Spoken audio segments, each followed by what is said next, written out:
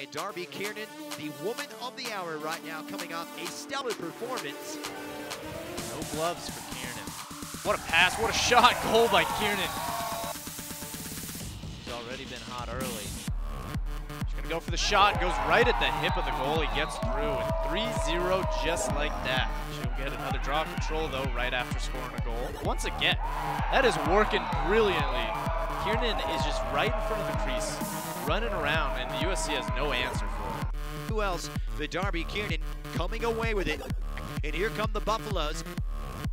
Swings it across, good movement. Nemiroff fires the feed from Kiernan to Nemiroff results in Colorado's fifth goal of the afternoon. And it's Kiernan going for goal, no doubt about it. Darby Kiernan gets on the sheet, and the goal machine that is Darby Kiernan roars to life here in the second half, make it 41 on the campaign.